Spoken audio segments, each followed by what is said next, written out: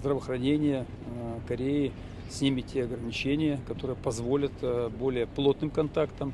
Вот, то есть, э, ну и сам по себе визит вот, товарища Ким Чен Ына в Россию, это уже знак того, что эти контакты будут продолжены.